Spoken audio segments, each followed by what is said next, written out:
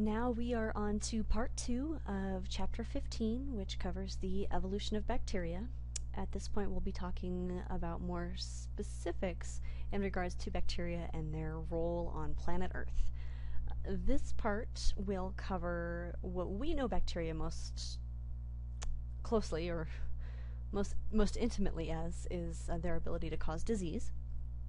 Then we'll look uh, at some ecological impacts that uh, humans have been trying to harness bacteria for.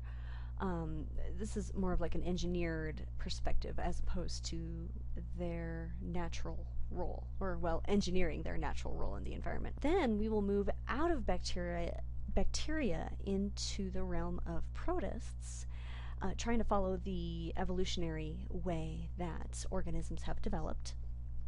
So, protists are eukaryotic organisms. We'll talk a, a, little bit about the endosymbiotic theory, which is amazing. We'll take a brief glimpse at the diversity of protists and another look at how multicellular life perhaps came to be. First off, bacteria and disease. Most bacteria do not cause diseases. Uh, most bacteria that live in the environment have another role. Uh, often it's decomposition or the, like we talked about earlier, to aid digestion in other organisms in a symbiotic relationship. Or uh, there are, I'm sure, many roles that bacteria has in the environment th- that bacteria have in the environment that we don't know anything about. Initially, uh, it's best to understand that the term pathogens refers to bacteria that cause disease in either, you know, plants, humans, animals, th- fungi, things that we're familiar with. Uh, basically, disease causing bacteria are pathogens. There are two common pathways that bacteria utilize to perform as pathogens. Uh, the first one you need to know the terminology for is an exotoxin. Now remember, exo is outside of the cell and endo is within. So if you just look at the word, it should be very clear that this is a toxin that the bacteria secretes into its environment outside of the cell, uh, hopefully to induce some response in the environment that'll make it easier for the bacteria to eat and proliferate. Uh, one example that your book gives is the bacterium Staph aureus. And I'm sure you've heard of that before. That is a strain that's notorious for living in hospitals and has become resistant to many, many uh, antibiotics. I think there's, uh, they call it MRSA, uh, multiple, multiply resistant Staph aureus. Uh, so you've got it living on your skin, probably in your nose as well. Uh, so moving on, you also need to know the term endotoxin. So this isn't a toxin that's released into the environment of the bacteria. This is a toxin that is kept within the cell membrane uh, to cause disruptions or whatever disease that this bacteria is going to cause. One sam- sample that the book gives you that should be familiar to everybody is salmonella. Uh, probably most of us have had an experience with salmonella and that is many of the aspects of it are are our body's response to the endotoxin in the membrane of salmonella. Some of the most interesting diseases and effects that bacteria can have on people uh, or other animals uh, as a result of infection are discussed in your book. Three of the most famous and, in a way, most frightening, I think, um, are listed here. Your book talks about anthrax, and I believe everybody in this class is old enough to remember the anthrax scares uh, when anthrax spores were sent to individuals, uh, government individuals, and uh, many people died. Uh, the part of the anthrax bacteria that was sent is called an endospore. And essentially, this is like a spore, although it's not a reproductive unit of the bacterium. It's really an environmentally stable version with the bacterium within it that has uh, entered a dormant stage. And once conditions become favorable again, where it's either in the warm, moist mucous membrane of a body, then it will essentially come back to life and uh, do what it does best uh, to cause an infection. And um, I do have some pictures on the next slide. These are very difficult for for me to find some that didn't that weren't incredibly disgusting. So, um, well, we'll see how that goes. Your book also talks about the plague, and everybody's familiar with the plague. It's Yersinia pestis. That's the name of the bacterium that causes it. It was a plague in human populations, sort of as a result of unsanitary conditions. Uh, basically, the fleas on rats uh, transmitted the plague from these animals to people. There are two different versions. The bubonic plague is when it expresses itself by manifesting in the lymph nodes of an individual, and the lymph nodes are in the groin area, in your armpits, and in your neck. Um, or it can then trans, uh, become pneumonic plague uh, when it's transferred between people in uh, droplets. Once it's in their lungs, it can easily be transferred between individuals. So I know this is a disease that you think of um, that most people think of as a plague of yesteryear, of a long time ago, but it's important that you keep in mind uh, the bacterium is still active in prairie dog colonies today here in northern Arizona.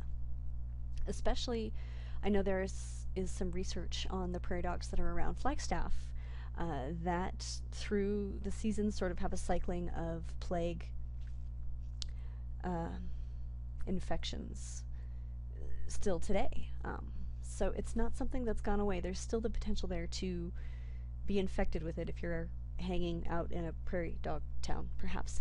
Uh, anyway, then we'll move on to botulism, or Clostridium botulinum is the bacteria, bacterium that, ooh, that should say produces, not produxes, but anyway.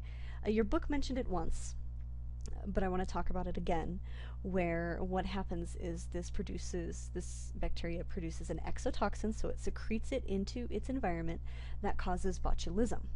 So this particular poison that the bacteria generates is a neurotoxin. And what it does is it diminishes your body's ability to generate um, a specific molecule, I cannot remember the name of it right now, that facilitates the transmission of signals in your nerves. Uh, so when your electrical impulses, your nerves can no longer perform communication. Uh, it's like going numb to death, if that makes sense. Uh, currently, botulism doesn't kill many people, probably because uh, most people don't ingest enough of the toxin to create a huge effect. But if it does, it will kill you because it essentially destroys the signal from your brain to tell your lungs to continue breathing. Uh, so, literally, it turns off your body's circuitry. And yes, Botox is an extraction or a related version to the toxin that Clostridium botulinum produces. Uh, it was designed for therapeutic uses, although nowadays it's used for uh, cosmetic things. It will also uh, prevent you from sweating, so people will get uh, Botox injections in their armpits. Uh, but uh, for me, the idea that it's so closely tied to um, an incredibly potent poison is extremely an extremely uncomfortable idea to choose to have it injected into one's body. Anyway, these pictures, the one on the top, uh, on that guy's neck, that poor guy's neck, is uh, a picture of a lesion, an anthrax lesion. They look black, just straight black. Uh, so that's dead skin as the anthrax infection takes hold and begins to grow. Now, uh, the bottom picture is botulism. I don't know the story behind this boy. Uh, I think what I read, I think he was 14 years old. Uh, I don't know if he survived, but he is fully conscious in this picture, but he cannot move anything because his nerves cannot communicate. So um, that's, I think, why you see the person holding his eyes open there on the um, second picture. So, gross, right? Moving on. What we're going to look at are the ecological ro roles of prokaryotes. and as I sort of mentioned before, uh, prokaryotes are absolutely critical in the soil uh, for decomposition. Um, part of ecology in the soil layers, where you've got new organic matter accumulating on the top layer, and as you dig into the soil, the layers essentially, the particles of the layers get smaller and smaller based on um, the processes that fungi and bacteria perform on those organic substances to break them down. Uh, water is obviously a key player, as are plant roots in performing aeration and breaking things down.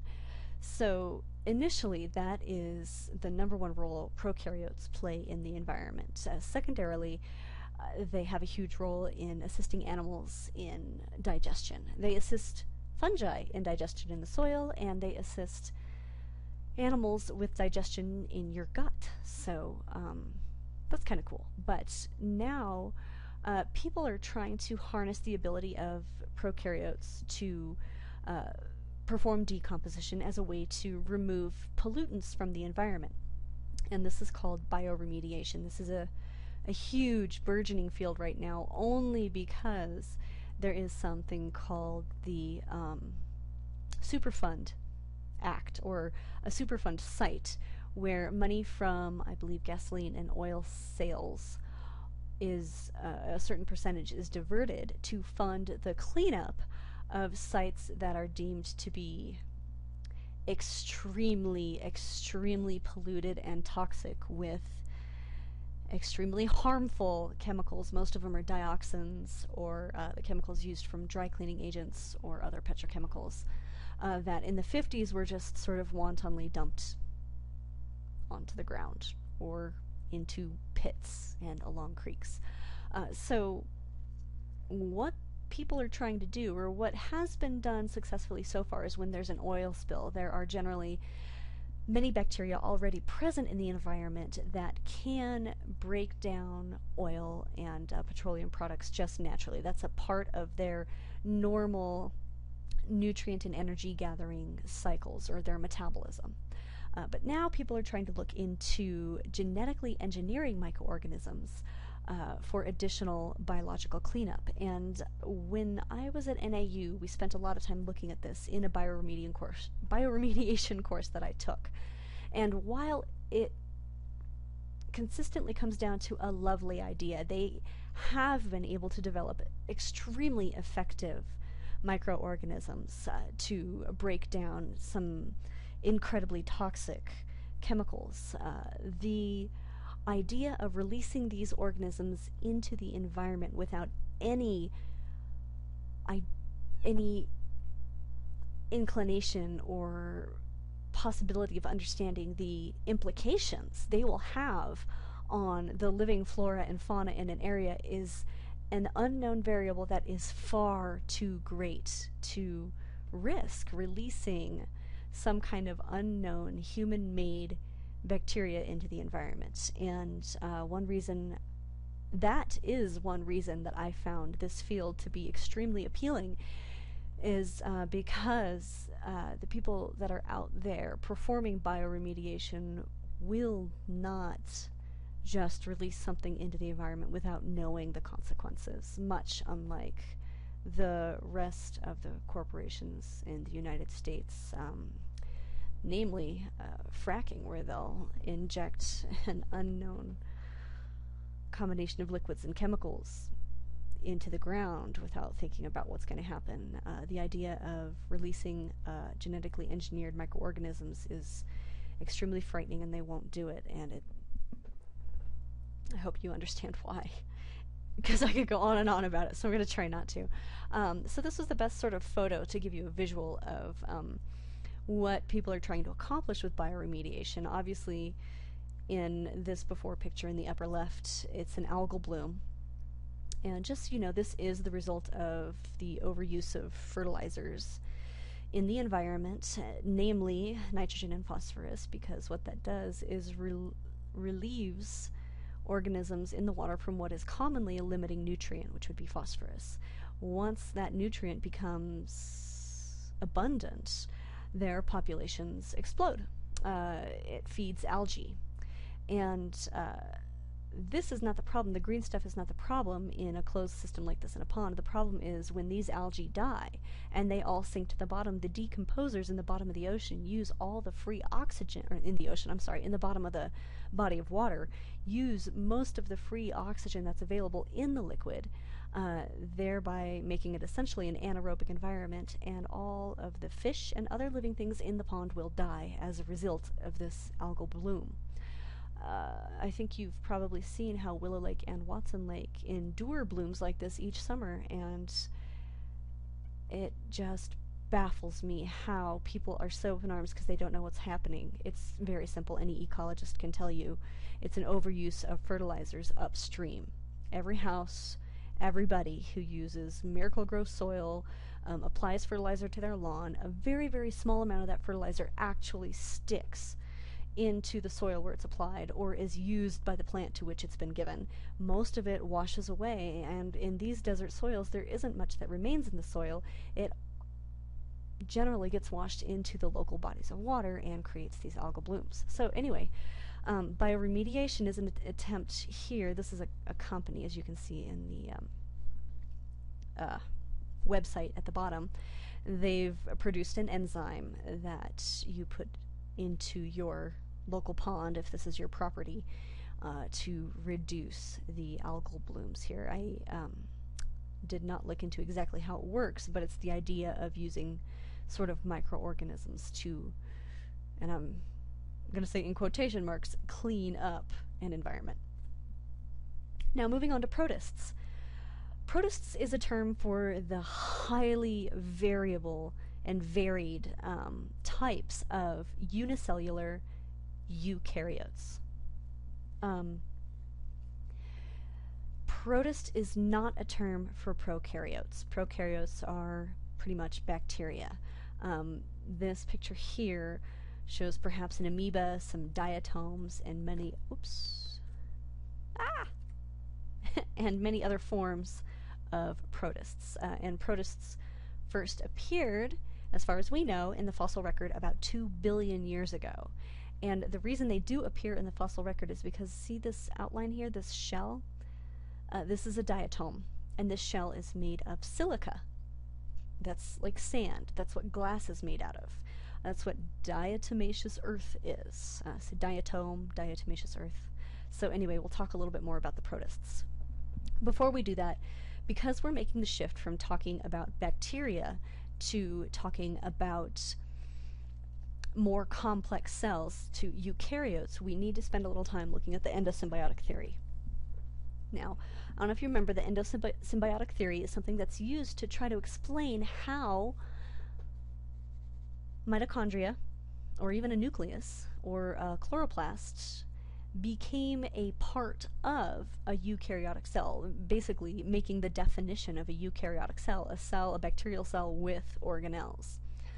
Um, one part is an idea that the folding of the membrane of something similar to a prokaryotic cell eventually enveloped the DNA to protect it, or, you know, something that had a protective sort of layer around its DNA uh, provided a, an advantage. It, that somehow that gave it a way to, say, resist viruses in its environment and was then thereby able to reproduce more quickly than other cells it was competing against.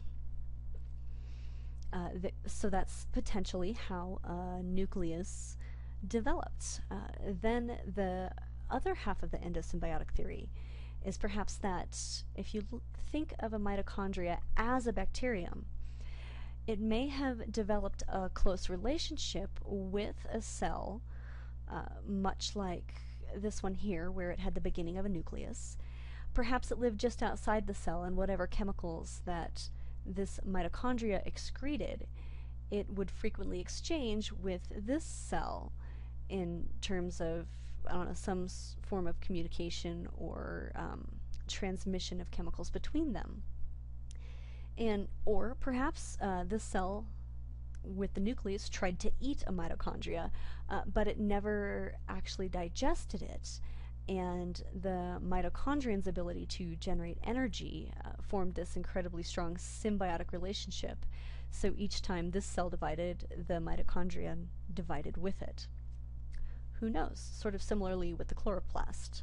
It's an incorporation or potentially the next step after a very, very close symbiotic relationship. And in a way, I don't know if you guys remember me talking about arbuscular mycorrhizal fungi on the first day of class, something I spent a little bit of time looking at.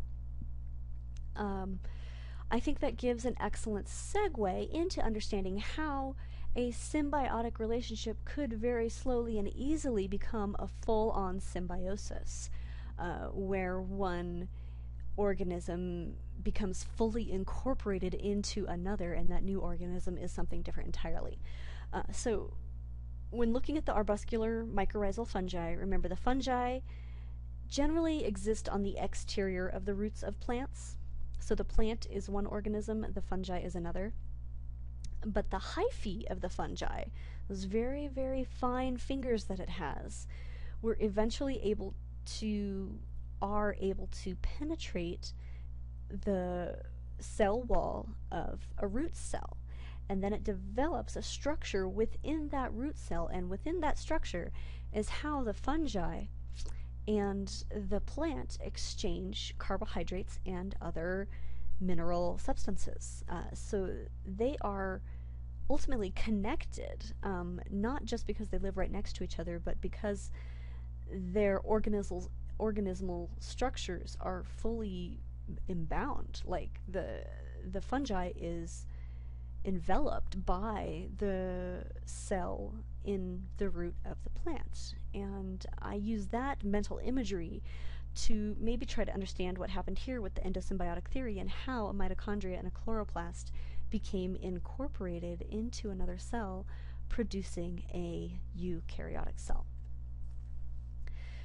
So, moving on, since we're talking about eukaryotes, uh, they have three main ways in terms of protists to garner nutrients. The first, on the left there, the green one, is an autotroph, so obviously it's photosynthetic. The one in the middle is a heterotroph, so it eats other things, essentially. So, troph is eat, auto is by itself, hetero is other, so that's an other eater. That's a, that particular picture shows a parasitic trypanosome, which looks really gross next to those blood cells. Um, and then finally, C, uh, mixotroph, which would be a combination of each. Uh, in a particular environmental condition, it could be an autotroph, or if sunlight is unavailable to it, it could become a heterotroph. So, in the realm of protists, there are four main types. Obviously, the protozoans, slime molds, algae, and seaweeds. And if you've ever seen a slime mold, they are really, really cool looking. I would love to take a time lapse photograph someday of a slime mold so you could uh, see how it moves. But anyway, the protozoans are typically the amoebas.